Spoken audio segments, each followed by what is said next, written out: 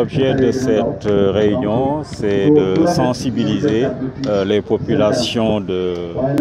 euh, Léona. Euh, et ceci entre dans le cadre donc, euh, du plan de communication que l'Agence de développement communal de Saint-Louis a initié afin donc, euh, de les informer sur euh,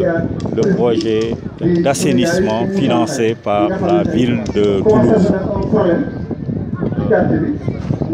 Outre le quartier de Léona, il y a également les quartiers de Ndiolofène et Diamogun qui sont concernés par ce projet euh, financé par euh, la ville de Toulouse, appuyé en cela par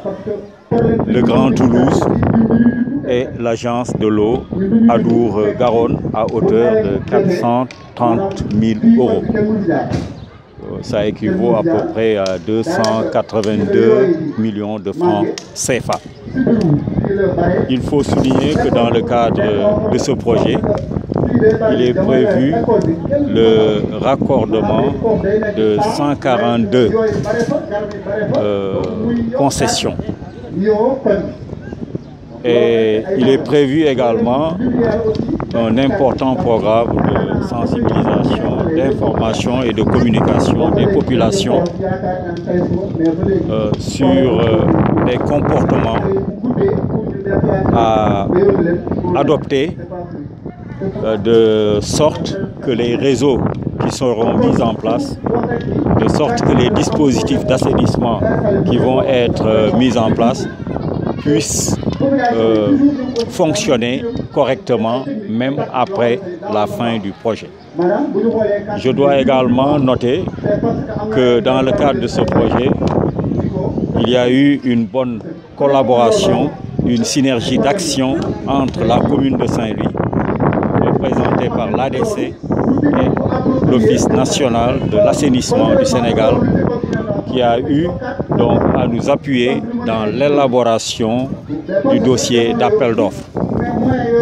À la suite donc euh, de l'élaboration de ce dossier, nous avons eu à lancer une consultation qui nous a permis de sélectionner l'entreprise dénommée Entreprise sénégalaise de construction et d'assainissement qui est en train d'exécuter donc ce travail-là. Je dois également noter enfin que dans le cadre toujours du projet, afin d'assurer la supervision et le contrôle des travaux, nous avons bénéficié toujours dans le cadre du projet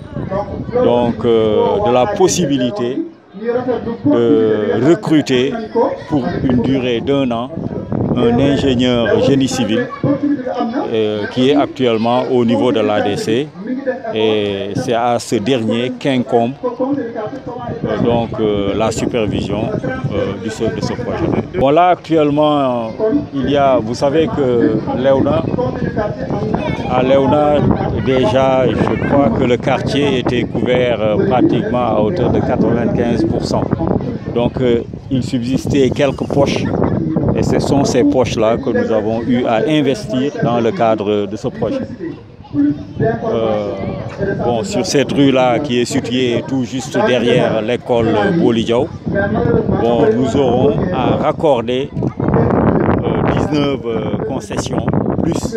les deux écoles, à savoir l'école Bolidiao et l'école Rawangom.